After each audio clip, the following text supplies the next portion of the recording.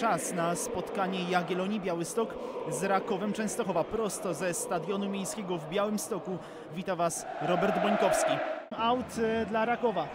Niebezpiecznie Szczepański, Miłosz Szczepański w polu karnym. Przed pole karne do Sapały. Sapała decyduje się na strzał. Uderza futbolówkę. Jeszcze niebezpiecznie! Damian Węglarz!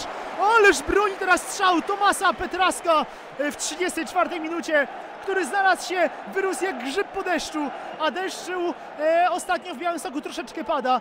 E, mięciutkie, Wyda ja wydawało mi się, że to był strzał Igora Sapału, a ten jak sobie tę piłkę przerzucił mięciutko nad e, całą linią defensywy Jagiellonii Białystok, a Petraszek znalazł się w sytuacji no stuprocentowej, z 9 metra głową e, w lewą stronę bramki Damiana Węglarza, a nasz bramkarz wyciągnął się jak struna, no i obronił ten groźny strzał defensora Rakowa Częstochowa cały czas 0 do 0. Jesus Imas rozciąga do Bidy. Bida znowu w polu karnym. Pole karne Bida! Jesus Imas! I nie ma bramki! Ależ interwencja na refleks. Michała Gliwy oczywiście.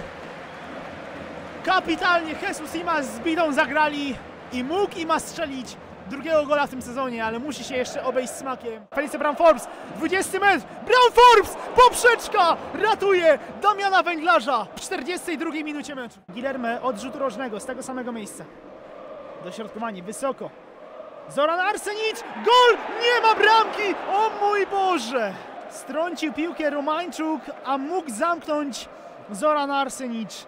Piłka jednak przeszła obok lewego słupka bramki Michała Gliwy. Już jest Babenko do Felice Bramforsa i na miejscu oczywiście Guilherme Bravo i szansa dla Jagiellonii teraz. Jesus Imas, graj Mudryńskiego.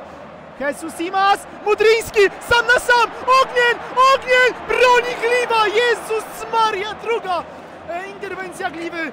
Ależ Mudryński miał szansę, ależ miał szansę. Jagiellonia poczuła krew, e, jak jakiś wampir ruszyła teraz. E, Zoran Arsenic, pospieszył, króciutko, do Gilerme na lewą stronę, Gilerme, dośrodkowanie, miękko, Gilerme, no i Gliwa łapie piłkę w koszyczek.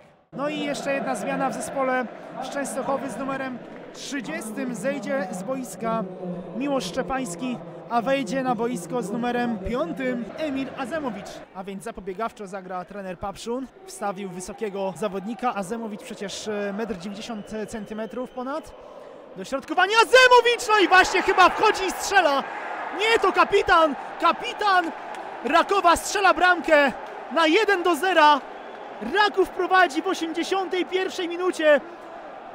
Nie do zatrzymania kapitan Tomasz Petrasek z pierwszym golem w Ekstraklasie, brawo. Ach, kolejny raz gramy z Beniaminkiem w Białymstoku i kolejny raz z Beniaminkiem przegrywamy. Rok temu z Miedzią Legnica 3 do 2, a dzisiaj z Rakowem Częstochowa 1 do 0. I koniec meczu.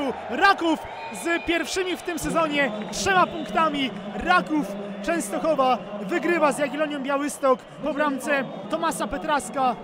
1 do 0. Jagiellonia nieporadna. Jagiellonia biła głową w mur, miała swoje sytuacje. Był Jesus Simas, był Mudryński.